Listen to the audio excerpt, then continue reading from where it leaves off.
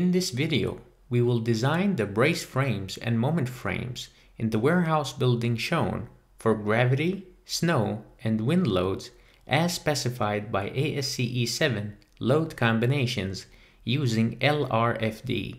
We're going to use the direct analysis method. The problem requires us to maintain columns no larger than the W24 series and beams no larger than the W30 series. We are going to assume the maximum initial out of plumbness permitted by the AISC, which is 0.2%. The serviceability limit of maximum allowed story drift caused by wind is also given. We are limited to using ASTM A992 for the beams and columns and to using A36 for the circular bracing rods. The roof is rigid. The dead, snow, and wind loads are provided as follows. We can extract the material properties of both A992 and A36 from Table 2-3 in the AISC manual. All lateral load resistance in the east-west direction is provided by tension-only X bracing in the north and south end bays as shown in section A-A. All lateral load resistance in the north-south direction is provided by moment frames on each north-south column line. A moment connection is provided between the exterior column and beam at the end bay of each north-south frame as specified in section B-B. Assume that this moment connection is field welded with a complete joint penetration weld at the beam flange to column flange connection. A beam to column web connection is provided using a bolted single plate connection. The tension rod to gusset connections are assumed to be pinned connections using a standard clevis and pin that can be chosen from the following two tables in the AISC manual. Beams within the braced frame are oriented with the web vertical and are bolted into the column flanges using double angles. A single gusset plate connecting the tension rod is shop welded to the beam flange and field bolted to the column. All other columns outside the brace frames and moment frame bays are leaning columns with simple beam to column connections. Design is an iterative process. The first step is to estimate member sizes that are used in an analysis and then check for conformance of strength requirements of the AISC specification and serviceability drift limits that are established by the designer. In this type of building, brace frames are often controlled by strength limit states, while moment frames are controlled by stiffness. The preliminary sizes for the members are defined in the top table. Assume that roof purlins at 6 feet and 8 inches center to center spacing in the east-west direction span to girders in the north-south direction located at column lines. Assume 7 pound per square foot framing self-weight for all steel framing including purlins, columns, beams, and braces. Note, use this weight for calculating the minimum lateral loads. The estimated dead load is then 25 pounds per square foot plus 7 pounds per square foot, which equates to 32 pounds per square foot. Note, the weights specified include an allowance for all steel framing and exterior cladding. In order to make sure this is modeled correctly in a finite element software of your choice, please make sure that the beam and column orientation is right. Here I am using SAP 2000, but any software that has the ability to include P small and P capital delta effects in a nonlinear analysis can be used. Here we can see that I assigned the north-south direction in the direction of the y-axis and the east-west direction to the x-axis. We can see the moment frames and respectively the braced frames. Make sure to release the right boundary conditions of the respective member ends to simulate the right support conditions and connections as indicated earlier. We can see that in the direction of the moment frames, the first and last columns are connected with a moment connection to the beams and thus make sure to not release the moment in those positions. Make sure to set the forces in the braces as tensile forces only. Do notice, however, that this is a nonlinear behavior, and in order for it to take effect, a nonlinear analysis is required. In order to make the roof act as a rigid roof, we assign the rigid diaphragm constraint in the z-axis to all joints on the roof floor, and thus all will move together in the horizontal plane. The maximum allowable drift limit can be calculated by rearranging the following equation. We obtain 3.6 inches. To find out the drift of the first order analysis, we create three linear static load cases and add their results together. This is possible because superposition is possible for linear analysis. To find out the drift of the second order analysis, we create a nonlinear static load case that includes both P capital and P small delta effects that include the loads of all three load cases multiplied by their respective scale factors in the load combination. This has to be done because superposition is not possible for nonlinear analysis. After running the first order analysis, we obtain a value for the story drift of 2.13 inches which does not exceed the maximum allowed limit, so we check the second order result. After running the second order analysis, we obtain a value for the story drift of 2.65 inches, which does not exceed the maximum allowed limit as well, and thus the member sizes are sufficient for the serviceability limit state. For strength analysis, we have to apply all the following LRFD load combinations. Notice that we are adding the notional loads to each of the load combinations, and not only to the gravity-only load combinations shown here. This is because we are not yet sure if the ratio of the drift of second-order analysis to that of the first-order analysis is less than 1.5. If we use the values obtained from the serviceability state, we get 1.24, which is very close to 1.5, and thus, to be on the safer side, we add the notional loads in the north-south direction anyway. However, we will not add them for the load cases in the east-west directions shown here.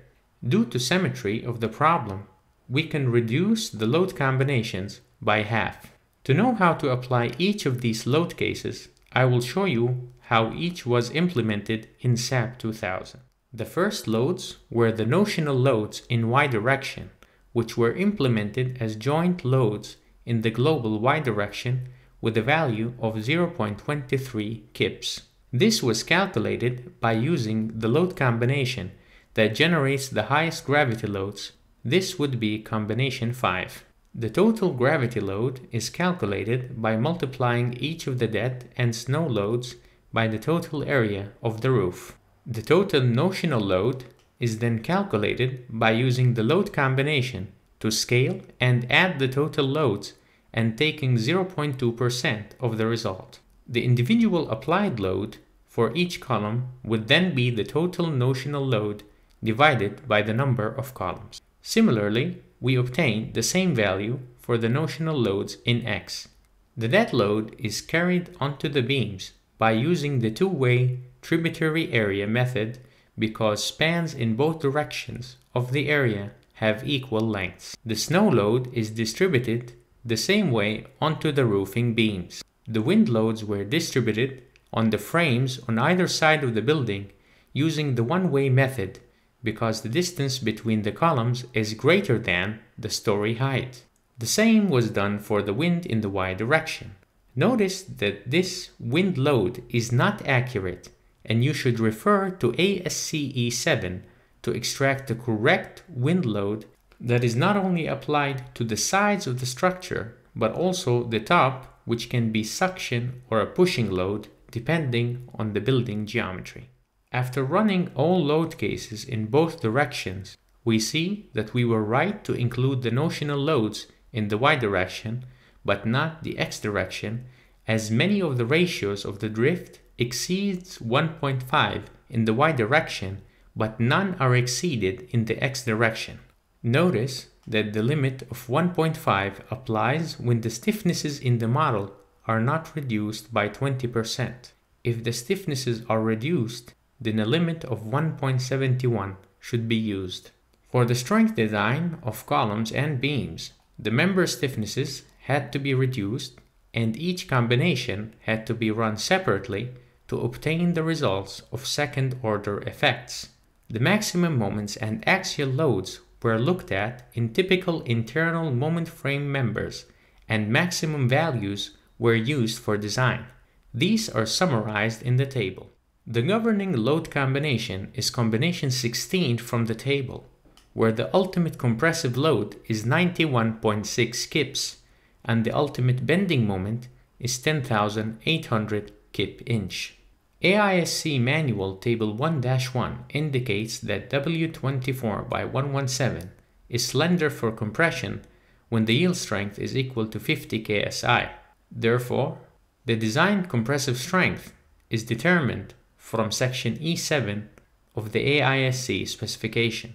The y-axis slenderness ratio, KL over Ry, is greater than the one in the x-axis and thus it controls the strength. We proceed to find the critical stress, as we did in the previous videos, for compression design. For details, please watch the video in the description down below. The web is slender, but it passes the width reduction check, and thus no reduction in the area is required when calculating the nominal compressive strength. We proceed to find the compressive strength, and we find out that it is much higher than the applied axial load and thus we proceed to the bending check. From AISC Manual, Table 3-2, we obtain the following. Because the length of the column is between L sub p and L sub r, use the following equation, taken from the AISC Manual and the variables from the AISC Manual Table 3-2 to interpolate between the available strength at L sub p and the available strength at L sub r. From AISC Table 3-1 and AISC Specification Equation F1-1, C sub b is equal to 1.67. Note that there is a linear moment diagram between the support and the brace point. Therefore, the design flexural strength is determined as follows. The available strength is greater than the applied load and thus we proceed. We check the interaction between bending moment and axial compression using section H1 from the AISC specification. Because the axial force over the axial strength is less than 20%, we use the following interaction equation. The result is less than 1 and thus we proceed to design the beams.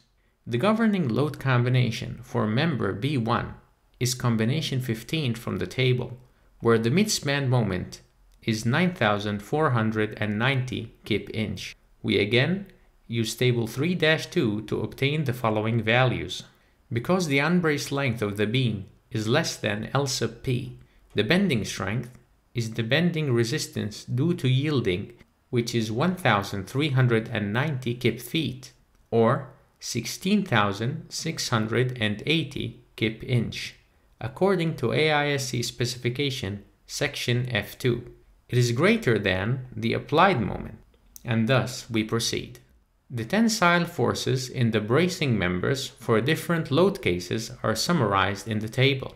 The required tensile strength of the 1.25 inch diameter rod is 33.2 kips for combination 9. Members in tension can either fail due to yielding or due to rupture. The member has lower strength in yielding.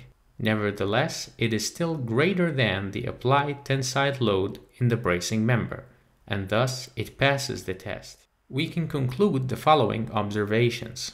The direct analysis method provides a more economical design for the moment frame portion of this problem compared to the effective length method because there is no limitation to the ratio of second to first order drift ratios. There were no seismic requirements for this problem, but the lateral load system in the north-south moment frame direction may not be satisfactory in higher seismic zones because of the magnitude of the second order effects. This would need to be checked according to ASCE 7, section 12.8.7.3.